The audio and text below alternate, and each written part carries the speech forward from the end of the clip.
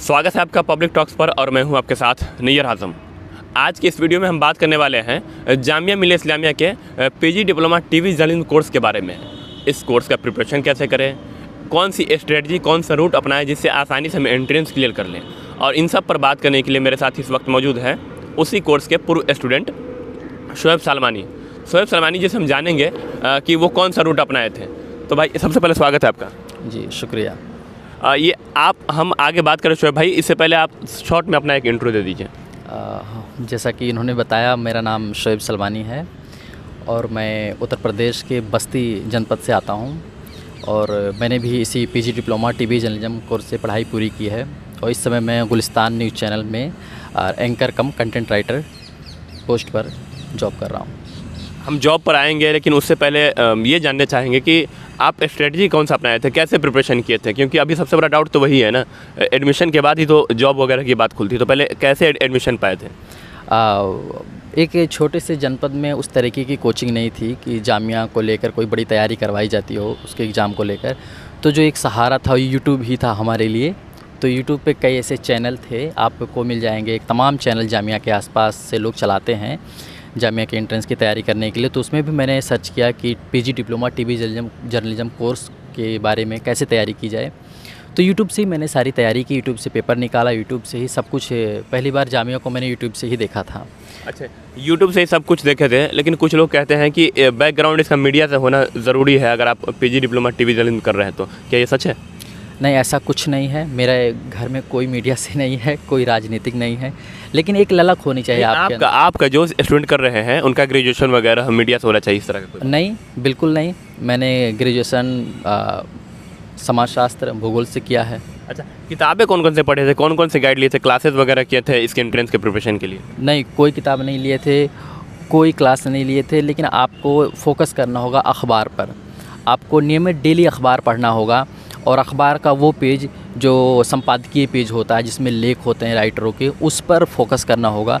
क्योंकि वही अखबार का वो हिस्सा होता है, जिसमें से पेपर के जो साठ नंबर का क्वेश्चन होता है, जो छः क्वेश्चन होते हैं, दस दस नंबर के, साठ नंबर के, वो वहीं से आते हैं। क्वेश्चन का पैटर्न क्या होता है एंट्रेंस में? कितने मार्क्स का होता है और ऑब्जेक्टिव सब्जेक्टिव क्या होता है? उसके बारे में थोड़ा बताइए। ये क्वेश्चन का पैटर्न समझने से पहले आपको पेपर का पैटर्न समझना होगा कि पेपर दो हिस्सों में होता है। 40 नंबर का ऑप्शनल होता है और 60 नंबर का सब्जेक्टिव होता है। जो 40 नंबर का होता है, वो 40 क्वेश्चन होते हैं। वन लाइनर होते हैं क्वेश्चन उसमें आपको मिलेगा जैसे कुछ बुक जो हाल ही में बुक लॉन्च हुए हों न्यू बुक उसके लेखक कौन है?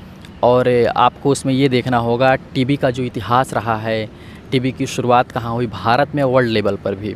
अखबार की जो शुरुआत है, भारत में भी और वर्ल्ड लेवल पर, दोनों की शुरुआत, दोनों का इतिहास आपको पढ़ना होगा। और इस समय मौजूदा हालात में जो टीवी चैनल है, उस पर कितने प्रोग्राम चल रहे हैं और उस प्रोग्राम को कौन होस्ट कर रहा है? एग्ज़ाम्पल के तौर पर हल्ला बोल, अंजना ओम कश्यप करती हैं। और जैसे ब्लैक एंड वाइट हो गया Sudhir Chaudhary. Black and white Sudhir Chaudhary. तो जितने प्रोग्राम चल रहे हैं उसको कौन सा एंकर होस्ट करता है और वो प्रोग्राम किस चैनल का हिस्सा है?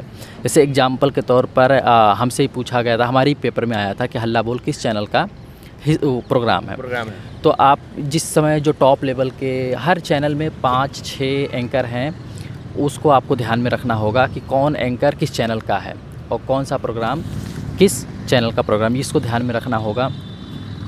टीवी का इतिहास भी आपको फोकस करना होगा और एक लूसेंट जो होता है लूसेंट के पीछे जो विविध होता है उस पर भी आपको गौर कर लेना होगा। उससे भी दो चार क्वेश्चन मिल जाएँगे आपको। दिवस पर फोकस करना हो जो दिवस हैं उस पर भी उससे एक दो क्वेश्चन आपको मिलेंगे। और इस तरीके से क्वेश्चन भी सॉल्व करना होगा कितने सालों का? आप कम से कम ज़्यादा नहीं तो कम से कम दो साल का देखेंगे लेकिन आप ये उम्मीद ना रखें कि हो बहु क्वेश्चन फंसेगा ऐसा नहीं होता है। शायद एक दो क्वेश्चन मैच कर जाए लेकिन जो पीछे के पेपर होते हैं, उनके क्वेश्चन मैच नहीं करते लेकिन हाँ एक आधार मिल जाता है कि इतिहास से क्वेश्चन पूछा गया है, भूगोल से पूछा गया है, और टीबी के इतिहास से पूछा गया, अखबार से पूछा गया है। टीबी पर पहली उद्घोषिका कौन थी? पहला अखबार कहाँ से निकला? ये सारी चीज़ें वर्ल्ड लेवल पर और भारत के स्तर पर भी दोनों चीज़ों से पूछी जाती हैं। और भी इसमें तमाम चीज़ें होती हैं जो सेटेलाइट को लेकर पहली बार टीवी का उद्घाटन मतलब टीवी का प्रेजेंटेशन कहाँ पर हुआ था? अच्छा। इस तरीके को लेकर भी क्वेश्चन आते हैं। पहला अवार्ड किसे मिला था? और हाल ही में मीडिया फ़ील्ड में किसको कौन सा अवार्ड दिया गया है? इस पर भी आपको ध्यान रखना होगा ये सारी चीज़ें। कोई क्लासेस वगैरह लिए थे आप? नहीं मैंने कोई क्लास नहीं लिया था। सब सेल्फ प्रिपरेशन था से? जी जी बिल्कुल। और दूसरी बात है अखबार पर आपको ज़्यादा ध्यान देना होगा क्योंकि अखबार में दो पार्ट होता है। एक तो संपादकीय होता है जो आपको जो सब्जेक्टिव क्वेश्चन हैं, वो आप कर पाएँगे आसानी से और जो मौजूदा हालात है, जो करंट अफेयर हैं, उस पर नज़र बनी रहेगी तो ऐसे क्वेश्चन आसानी से सॉल्व हो जाते हैं। अगर हम बात करें उसके जो सब्जेक्टिव क्वेश्चन है साठ नंबर के तो उसमें कुछ क्वेश्चन ऐसे भी आए हुए थे कि आपके पसंदीदा एंकर के बारे में लिखिए। किसी एक एक- पसंदीदा एंकर के बारे में आप लिखिए। तो आपको दो पेज उस पर लिखना होगा। मौजूदा जो हालात चल रहे हैं इस समय आपको ये भी आ जाएगा कि यूक्रेन रसिया के बारे में आपकी क्या राय है? और भारत में कुछ जो घटनाएँ घटी हैं उसको भी लेकर सवाल हो सकते हैं। या ये भी हाल ही में जो चुनाव हुए हैं उसको भी लेकर चार पाँच स्टेट में जो चुनाव हुए हैं। उसको भी लेकर आके उस पर आपकी क्या राय है? या ये भी पूछा जा सकता है? ओपिनियन पूछा जाता है। हाँ आपकी राय पूछी जाती है उसमें। और अ, 2024 में क्या राय है? माहौल किस तरफ़ है? आपकी क्या मतलब रणनीति क्या हो सकती है सरकार की? इस तरीके से भी सवाल पूछे जा सकते हैं अच्छा। ये सिक्सटीन मार्क्स वाला जो बताए हैं सब्जेक्टिव पैटर्न तो इसके बारे में मैं ये जानना चाहूँगा कि कितने मार्क्स एक क्वेश्चन होते हैं? आ, दस मार्क्स का एक क्वेश्चन होता है और टोटल छः क्वेश्चन होते हैं लेकिन छः ही नहीं होते हैं। आठ दस भी हो सकते हैं। आपको उसमें ऑप्शन मिल जाएगा छः करने का। कोर्स के बाद हम कर लिए लगभग एंट्रेंस की बात कर लिए। आप पूर्व छात्र रह चुके हो, तो ज़ाहिर सी बात है आपके पास एक्सपीरियंस कुछ और ज़्यादा है और आप शुरू में बताइए कि मैं जॉब कर रहा हूँ। तो ये बताइए कि घूम फिर करके बात आ जाता है कि सैलरी पे पैसों पे जॉब पे। तो क्या इस कोर्स करने के बाद प्लेसमेंट हो जाता है इस कोर्स से? जी बिल्कुल हंड्रेड परसेंट होता है। हमारा भी हुआ है काफ़ी लोगों का हुआ है लेकिन अब आपके बैचमेंट में लगभग सबके होंगे? नहीं लगभग सबका नहीं होगा। कुछ तो मतलब आपकी भी ज़िम्मेदारी बनती है।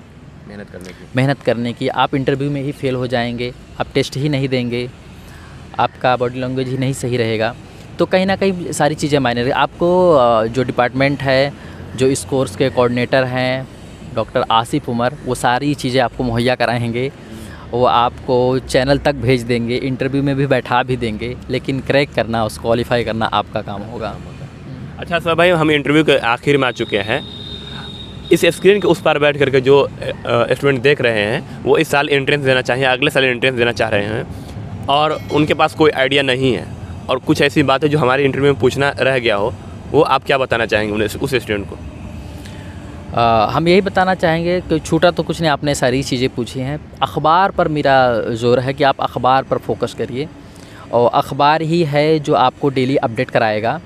डेली की घटनाओं से और वो जो मैं बोल रहा हूँ संपादकीय जो पेज है उस पर आप काफ़ी फोकस करें क्योंकि साठ नंबर का है उस पर उसको पढ़ने से गंभीरता आती है लिखने की आप गहराई तक सोच सकते हैं तो वो मायने रखता है। कहीं ना कहीं हाँ। जर्नलिस्ट जर्नलिस्ट के तौर पे। वो मायने लाती है आपके क्वेश्चन में तो उस पर आप ज़्यादा फोकस करें और आप टीवी चैनलों को देखा करें जो आपको पसंद हो वो आप डेली देखें। अपडेट रहें उस आज की हालात से घटनाओं से। शोएब भाई हमसे बात की है इंट्रेंस के बारे में काफ़ी कुछ बात बताएँ और ख़ास तौर से आपने बताया कि अखबार पे फोकस करनी चाहिए इसमें। इसके लिए आपका बहुत बहुत शुक्रिया। जी जी।